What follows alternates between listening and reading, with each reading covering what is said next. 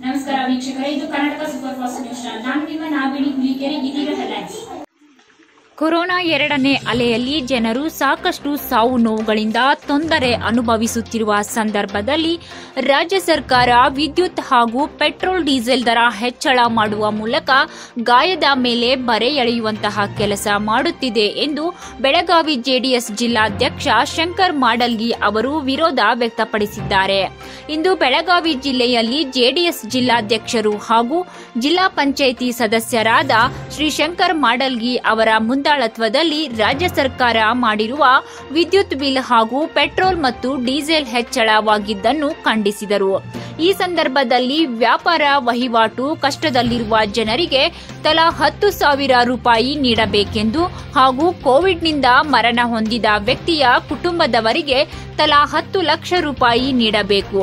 ಪ್ರತಿ ರೈತ ಕುಟುಂಬಕ್ಕೆ ಹತ್ತು ಸಾವಿರ ರೂಪಾಯಿ ನೀಡಬೇಕು. ಇಲ್ಲವಾದರೆ ಮುಂಬರುವ ದಿನಗಳಲ್ಲಿ ಸರ್ಕಾರದ ವಿರುದ್ಧ ಉಗ್ರ ಹೋರಾಟ ಮಾಡಲಾಗುವುದು ಎಂದು ಜೆಡಿಎಸ್ ಪಕ್ಷದ ಜಿಲ್ಲಾಧ್ಯಕ್ಷರಾದ ಶ್ರೀಶಂಕರ್ ಮಾಡಲ್ಗಿ ಅವರು ಕೇಂದ್ರ ಮತ್ತು ರಾಜ್ಯ ಸರ್ಕಾರಕ್ಕೆ ಎಚ್ಚರಿಕೆ ನೀಡುವ ಮುಖಾಂತರ ಜಿಲ್ಲಾಧಿಕಾರಿಯವರಿಗೆ ಮನವಿಯನ್ನು ನೀಡಿದರು. ಈ ಸಂದರ್ಭದಲ್ಲಿ ಜೆಡಿಎಸ್ ಪಕ್ಷದ ರಾಜ್ಯ, ಜಿಲ್ಲಾ ಹಾಗೂ ತಾಲೂಕಿನ ಎಲ್ಲ ಕಾರ್ಯಕರ್ತರು ಹಾಗೂ ಪದಾಧಿಕಾರಿಗಳು, ತಾಲೂಕು ಘಟಕದ ಅಧ್ಯಕ್ಷರು ಹಾಗೂ ಕಾರ್ಯಕರ್ತರು ಹಾಜರಿದ್ದರು. Bureau report, Abhishek Gadad Karnataka super fast news, Belagavi.